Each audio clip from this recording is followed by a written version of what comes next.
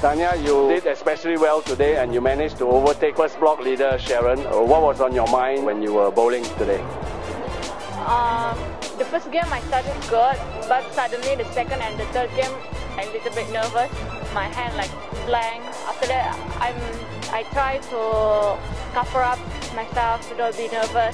I think I already make it top eight, just bowl well. Suddenly I can bowl well. And who's your opponent tomorrow? China. Yeah. Tang Yu. I don't know the name. Zhang Yu Hong. Yeah. Have you ever bowled with her before? Never.